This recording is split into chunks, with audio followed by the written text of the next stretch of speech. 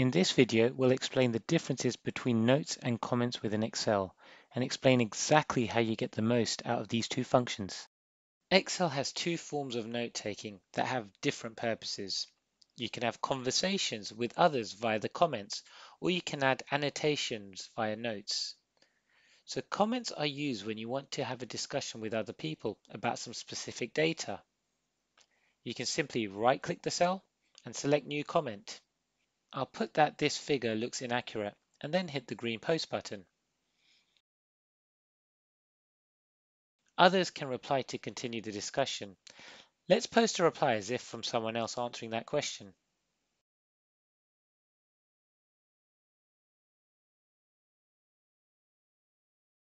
And let's say we made a mistake on the original reply and need to edit the response. We can by simply hitting the edit button in the bottom right.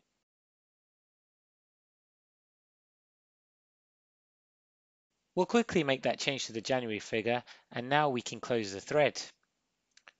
To close the thread, simply click the three dots in the top right corner like so and select Resolve Thread. The thread still remains but it is grayed out when you hover over it. You then have the option to reopen the thread or delete it. Notes allow you to add annotations to cells. To add a note, simply right-click the cell and select New Note. You can then type your note like so. For more actions on notes, right-click the cell and the following options are related to the note.